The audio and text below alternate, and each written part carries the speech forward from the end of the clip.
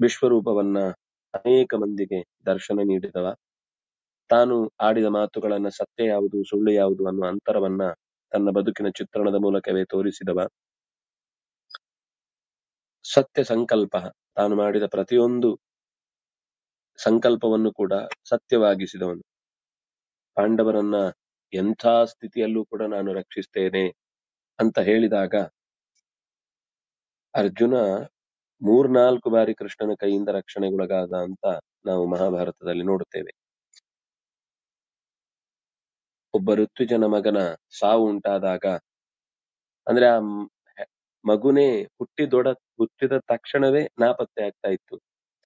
ಅಂತ ಸಂದರ್ಭದಲ್ಲಿ ಹಿಂದೆ ಹೀಗೆ ಹಲವು ಬಾರಿ ಕಳ್ಕೊಂಡವನು ಯಜ್ಞ ದೀಕ್ಷಿತನಾಗಿ ಕೂತಿದ್ದ ಕೃಷ್ಣನಲ್ಲಿ ಬಂದು ಕೇಳ್ತಾನೆ. ಅವನು ಯಜ್ಞದಿಂದ ಇನ್ನೇನು ಹೊರಡಬೇಕು ಅಂತ ಅಂದಾಗ ಅರ್ಜುನ ತಡೆದು ನಿಲ್ಲಿಸಿ, ನೀನು ಯಜ್ಞದಿಂದ ಹೇಳುದು ಬೇಡ. ಆ ಋತುಜನನ್ನು ತಾನೇ ಮಾತಾಡಿಸಿ, ನಾನೇ ನಿನಗೆ ಸಹಾಯಕ್ಕೆ ಬರ್ತೇನೆ ಅಂತಾನೆ. ಬೇಡ ಬೇಡ. ಇದು ಬೇರೆ ಯಾರಿಂದನೂ ಆಗುವಂತದ್ದಲ್ಲ ಇದು ಕೃಷ್ಣನಿಂದ ಮಾತ್ರ ಆಗುವಂತದ್ದು ಅಂತ ನನಗೆ ಸ್ಪಷ್ಟ ಗೊತ್ತಿದೆ. ಅದಕ್ಕೆ ದಯವಿಟ್ಟು ಕೃಷ್ಣನೇ, ಅಲ್ಲ ಕೃಷ್ಣ ಹೀಗೆ ದೀಕ್ಷಿತನಾಗಿದ್ದಾನೆ. ಕೃಷ್ಣನೇ, ನೀವು ಕೃಷ್ಣನನ್ನ, ಅರ್ಜುನನನ್ನ ಒಂದೇ ಇಟ್ಟು ತೂಗುದ ಅಂತ ಒಂದು ಕ್ಷಣ ಅರ್ಜುನ ಕೃಷ್ಣನಿಗಿಂತ ತಾನು ಮಿಗಿಲು, ಕೃಷ್ಣ ನನಗೆ ಸಾರಥ್ಯ ಮಾಡಿದವನಷ್ಟೇ ಅಂತ ಭಾವಿಸಿ ಹೆಗ್ಗಳಿಕೆಯಿಂದ ನಾನೇ ಬರ್ತೇನೆ ಇವು ನಾನೇನು ಪ್ರದ್ಯುಮ್ನ ಅನಿರುದ್ಧ, ಹ್ಮ್, ಮೊದಲಾದ ಯಾದವ ವೀರರ ಹಾಗಲ್ಲ, ನನ್ನ ಅಸಾಧಾರಣವಾದ ಬಲ ನಿನಗೆ ಗೊತ್ತಿಲ್ಲ ಅಂತ ಹೇಳಿ ಅರ್ಜುನ ಅವನನ್ನು ಕರ್ಕೊಂಡು ಹೋಗ್ತಾನೆ. ಕರ್ಕೊಂಡು ಹೋಗಿ ಕಾವಲು ಹಾಕಿ ಅತ್ಯಂತ ಬಿಗಿಯಾದ ಶಸ್ತ್ರ ವ್ಯವಸ್ಥೆಯನ್ನೆಲ್ಲ ನಿಲ್ಲಿಸಿ ಮಗು ಇನ್ನೇನು ಹುಟ್ಟಿ ಅದು ಕೂಗಬೇಕು, ಕೂಗುವಷ್ಟರಲ್ಲಿ ಮತ್ತೆ ನಾಪತ್ತೆ ಆಯ್ತು. ಅವನು ಅದಕ್ಕೋಸ್ಕರ ಮಾಯಾಜಾಲನ ಏನೇನೋ ಎಲ್ಲ ರಕ್ಷಣೆಯನ್ನು ಇಟ್ಟಿದ್ದ. ಯಾವ ರಕ್ಷಣೆಗೂ ಅದು ಸಿಗ್ಲಿಲ್ಲ. ಇವನು ಎಷ್ಟು ತನ್ನ ಇಲ್ಲಿಯ ತನಕದ ಅಸ್ತ್ರವಿದ್ಯೆಗಳು, ಅವನು ಹೇಳಿದ್ದ ಮೊದಲೇ, ಅತ್ಯಂತ ಬಿಗಿಯಾದ ಅಸ್ತ್ರದ ಕಾವಲಿದ್ದಾಗಲೆಲ್ಲರೂ, ಎಲ್ಲ ಸಂದರ್ಭದಲ್ಲೂ ಮಗು ನಾಪತ್ತೆ ಆಗಿದೆ. ಈ ಹಿಂದೆ ನನಗೆ ಒಂದು ನನ್ನ ಮಗು ಅಂತ ಹೇಳ್ಕೊಳ್ಳಿಕ್ಕೆ ಒಂದು, ಅಳು ಕೇಳಲಿಕ್ಕೆ ಒಂದು ಧ್ವನಿ ಇಲ್ಲ ಅಂತ ತುಂಬಾ ಅತ್ತಿದ್ದ. ಈಗ ನೋಡಿ ಆಶ್ಚರ್ಯ ಆಗುತ್ತೆ. ಜೊತೆಗೆ ಆ, ಋತ್ವಿಜ ಚೆನ್ನಾಗಿ ಬೈತಾನೆ. ನಾನ್ ಕೃಷ್ಣನನ್ನೇ ಬಾ ಅಂತ ಹೇಳಿದ ಇದೇ ಕಾರಣಕ್ಕೆ. ನಿಮ್ಮನ್ನೆಲ್ಲ ನಂಬ್ಕೊಂಡ್ರೆ ನನ್ ಕತೆ ಹೇಗಾಗುತ್ತೆ? ಅಂತ ಅಳ್ತಾನೆ ಎಲ್ಲ ದಿಕ್ಕುಗಳಲ್ಲಿ ಮತ್ತೆ ಒಂದು ಸರ್ತಿ ಸುತ್ತಾಡಿ ಬರ್ತಾನೆ. ಯಾವ ದಿಕ್ಕಿನಲ್ಲಿ ನೋಡಿದ್ರು ಮಗುವಿನ ಸುಳಿವು ಇಲ್ಲ. ಈ ದಿಕ್ಕಿನಲ್ಲಿ ಹೋಯ್ತು ಅಂತ ಗೊತ್ತಾಗ್ಲಿಕ್ ಬೇಕಾದ ಯಾವ ಅವಕಾಶವೂ ಸಿಗ್ಲಿಲ್ಲ. ತುಂಬಾ ಯೋಚನೆ ಆಗುತ್ತೆ. ಅವನು ಹೇಳಿರ್ತಾನೆ, ಒಂದು ವೇಳೆ ನಿನ್ನ ಮಗುವನ್ನ ನಾನು ರಕ್ಷಿಸ್ಲಿಲ್ಲ ಅಂದ್ರೆ ಬೆಂಕಿಗೆ ಹಾರ್ತೇನೆ ಅಂತ. ಸರಿ, ಇನ್ನೇನು? ಯಾವ ದಿಕ್ಕಿನಲ್ಲಿ ಹುಡುಕಿದ್ರು ಸಿಗದೆ ಇದ್ದಾಗ ಕೃಷ್ಣನ ಹತ್ರ ಬಂದ. ಬಂದು ಹೀಗಾಯ್ತು ಅಂತ ಋತ್ವಿಜ ಹೇಳಿ, ಎದುರು ನಿಂತಾಗ್ಲೇ ಅವನು ಚಿತೆಗೆ ತಯಾರು ಮಾಡ್ತಾ ಇದ್ದಾನೆ ಅರ್ಜುನ. ನಾನು ಮಾತು ಉಳಿಸ್ಕೊಳ್ಳಿಕ್ ಆಗ್ಲಿಲ್ಲ ನಾನು ಪ್ರಾಣ ಬಿಡ್ತೇನೆ ಅಂತ. ಕೃಷ್ಣ ಹೇಳಿದ ತಡಿ ನಾನೇ ಬರ್ತೇನೆ ಅಂತ ಯಜ್ಞದ ಮಧ್ಯದಿಂದಲೇನೆ ದೀಕ್ಷೆಯನ್ನು ತೊರೆದು ಬಂದ್ಬಿಟ್ಟ. ಬಂದವನೇ ಅವನನ್ನ ಕರ್ಕೊಂಡು ಎಲ್ಲೆಲ್ಲೆಲ್ಲೆಲ್ಲೋ ಹೋಗಿ ಕೊನೆಗೆ ಪೂರ್ತಿ ವೈಕುಂಠದ ತನಕ ಹೋದ. ಹೋದ್ರೆ ಅಲ್ಲಿ ತುಂಬಾ ವಿವರ ಇದೆ, ಹೇಗ್ ಹೋದ, ಎಲ್ಲೆಲ್ಲಿ ಹೋದ, ತುಂಬಾ ಚೆನ್ನಾಗಿದೆ ಆ ಭಾಗ. ಹರಿವಂಶದಲ್ಲಿ ಈ ಕತೆ ಆ ನಿರೂಪಣೆ ಆಗಿದೆ ಭಾಗವತದಲ್ಲೂ ಈ ಕತೆ ನಿರೂಪಣೆ ಆಗಿದೆ ಎಲ್ಲಾ ಕಡೆನೂ ಹುಡ್ಕೊಂಡು ಹುಡ್ಕೊಂಡು ಹುಡ್ಕೊಂಡು ಹೋಗಿ ಕೊನೆಗೆ ತನ್ನದೇ ತರ ಇರುವ ಇನ್ನೊಂದು ವಿಚಿತ್ರವಾದ ಶ- ಶೇಷಶಾಹಿಯಾದ ಪರಮಾತ್ಮನ ರೂಪವನ್ನು ನೋಡಿ ಅಲ್ಲಿ ಈ ವಿಷಯವನ್ನೆಲ್ಲ ಚರ್ಚೆ ಮಾಡಿದಾಗ ಅಲ್ಲಿ ಆ ಮಗು ಸಿಗುತ್ತೆ. ತನ್ನದೇ ಆದ ಮತ್ತೊಂದು ರೂಪ ಅಷ್ಟೇ ಅದು. ಅದು ಅವನಿಗೊಂದು ಯಾವುದೋ ಪ್ರಾರಬ್ಧ ವಶಾತ್ ಎಲ್ಲದಕ್ಕೂ ವೈಕುಂಠ ದರ್ಶನ ಆಗಬೇಕು ಅಂತ ಇದ್ದದ್ರಿಂದ ಅವನಲ್ಲಿ ಕರ್ಕೊಂಡು ಹೋಗಿದ್ದ ಹುಟ್ಟಿದ ತಕ್ಷಣನೇ. ಕೊನೆಗೆ ಹೀಗೆ ಆ ತಂದೆ ಅಳ್ತಾ ಇದ್ದಾನೆ ಆ ಮಗುವಿಗೆ, ಮತ್ತೆ ಭೂಮಿಯಲ್ಲಿ ಬದುಕಬೇಕಾದ ಭಾಗ್ಯವನ್ನ ನೀನು ಕೊಡಬೇಕು, ತಂದೆಯ ಸಂತೋಷಕ್ಕಾಗಿ, ಅವನ ಸಾಧನೆಯೂ ಆಗಬೇಕು. ಹೀಗೆಲ್ಲ ಕೇಳ್ಕೊಂಡು ಮಗನ್ ಕರ್ಕೊಂಡು ಬರ್ತಾನೆ. ಆಮೇಲೆ ಮತ್ತೆ ಯಜ್ಞದಲ್ಲಿ, ಮಧ್ಯದಲ್ಲಿ ಎದ್ದು ಹೋದೆ ಅನ್ನುವ ಕಾರಣಕ್ಕಾಗಿ, ದೀಕ್ಷಿತ, ದೀಕ್ಷೆಯ ಭಂಗಕ್ಕಾಗಿ ಪ್ರಾಯಶ್ಚಿತ್ತಗಳನ್ನೆಲ್ಲ ಕೃಷ್ಣ ಮಾಡಿಕೊಂಡು, ಆಮೇಲೆ ಮತ್ತೆ ಯಜಮಾನನಾಗಿ ಕೂತು ಯಜ್ಞವನ್ನು ಮುಂದುವರಿಸಿದ ಅನ್ನೋ ಇಷ್ಟು ಕಷ್ಟ ಕಥೆ ಬರುತ್ತೆ. ಹಾಗಾಗಿ ಸತ್ಯ ಸಂಕಲ್ಪ ನಾನು ನಿನ್ನ ಪ್ರಾಂಡವರನ್ನು ಉಳಿಸ್ತೇನೆ ಅಂತ ಹೇಳಿದ ಮಾತನ್ನ ಎಷ್ಟು ಎಷ್ಟು ಸಂದರ್ಭ ಬಂತೋ ಆಗ ಎಲ್ಲ ಕಾಲದಲ್ಲೂ ಉಳಿಸಿದ್ದಾನೆ.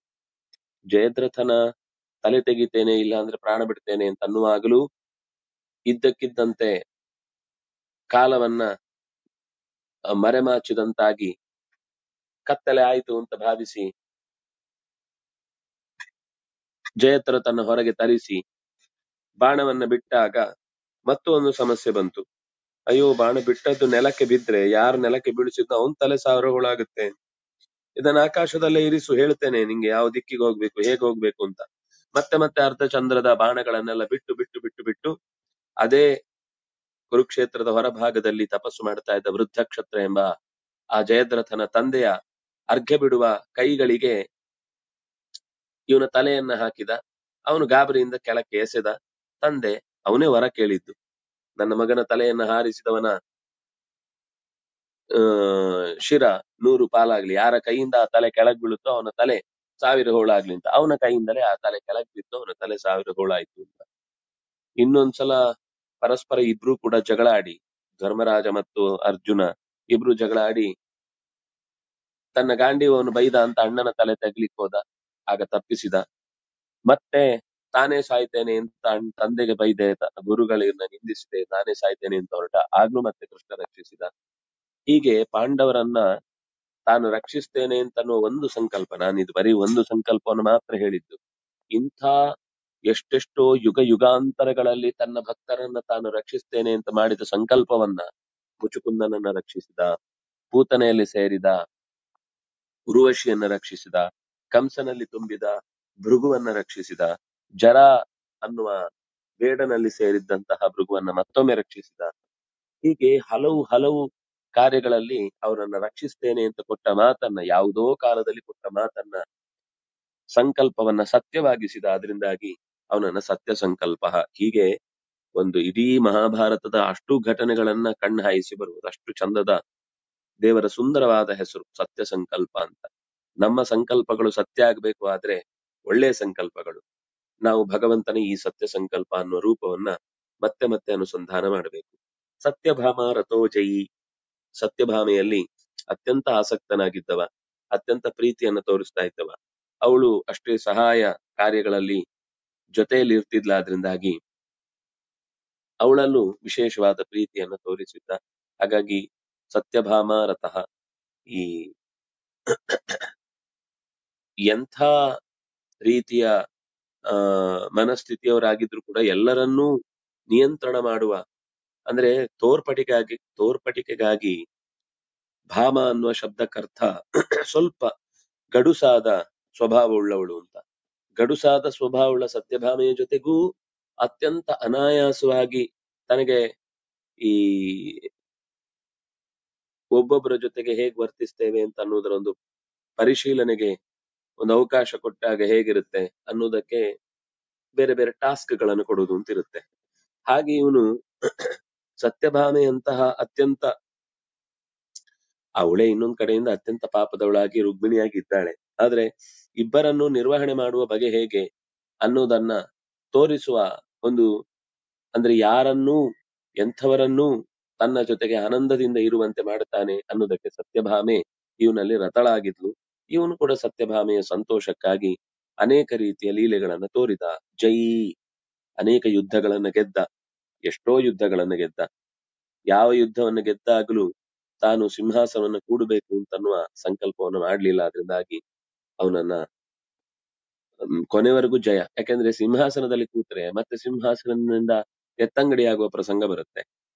ಅಧಿಕಾರ ಬಂತು ಅಂದ ತಕ್ಷಣ ನಾವು ತುಂಬಾ ಹಾರಾಡುವ ಘಟನೆಗಳು ನೋಡ್ತೇವೆ ಆದ್ರೆ ಆ ಹಾರಾಟ ಅಧಿಕಾರದಲ್ಲಿರುವ ತನಕ ಆಮೇಲೆ ಅವ್ರ ಸುದ್ದಿ ಇರಲ್ಲ. ಆದ್ರೆ ಯಾರು ಯಾವಾಗ್ಲೂ ಸಮಾಜದ ಜೊತೆಗೆ ಸಂಬಂಧದಿಂದ ಇದ್ದು ಕರ್ತವ್ಯ ನಿಷ್ಠೆಯಿಂದ ಜಗತ್ತಿನ ಜನರ ಜೊತೆಗೆ ಬೆರೆತಿರ್ತಾರೋ, ಅವ್ರು ಯಾವಾಗ್ಲೂ ರಾಜನಂತೆಯೇ ಇರ್ತಾರೆ. ಇದು ರಾಮ ಹೇಳುವ ಮಾತು. ಸಿಂಹಾಸನದ ಮೇಲೆ ಕೂತಿದ್ರೆ ಮಾತ್ರ ರಾಜ ಆದವನು ರಾಜ ಆಗ್ಲಿಕ್ಕೆ ಸಾಧ್ಯ ಇಲ್ಲ. ಸಿಂಹಾಸನ ಇಲ್ಲದೇ ಇದ್ರೂ ಯಾರು ರಾಜನಂತೆ ಗಾಂಭೀರ್ಯದಿಂದ, ಜನ ಸಂಪರ್ಕದಿಂದ ಸಜ್ಜನಿಕೆಯಿಂದ ಕೊಡುಗೈತನದಿಂದ ಬದುಕ್ತಾನೋ ಅವನು ನಿಜವಾದ ರಾಜ ಅಂತ. ಹಾಗೆ ಈ ಕೃಷ್ಣ ಕಿಂಗ್ ಮೇಕರ್ ಆದ. ಯಾವತ್ತು ಕಿಂಗ್ ಆಗಿ ಉಳಿಲಿಲ್ಲ. ಎಲ್ಲಾ ರಾಜರನ್ನು ಕೂಡ ಅವರವರ ಸ್ಥಾನದಲ್ಲಿ ಇರಿಸಿ ಅವರ ತಲೆಬಾಗಿಸುವಿಕೆ ಬೇಕಾದ ತನ್ನ ಗುಣವನ್ನ ಇನ್ನಷ್ಟು ಇನ್ನಷ್ಟು ಅವರಲ್ಲಿ ಪ್ರಭಾವಗೊಳಿಸಿದ. ಅದರಿಂದಾಗಿ ಜೈ. ಸುಭದ್ರಾ ಪೂರ್ವಜಃ. ಸುಭದ್ರೆಗಿಂತ ಮೊದಲು ಹುಟ್ಟಿದವ. ಸುಭದ್ರೆ ವಸುದೇವನಿಗೆ ರೋಹಿಣಿಯಲ್ಲಿ ಹುಟ್ಟಿದ ಮಗಳು.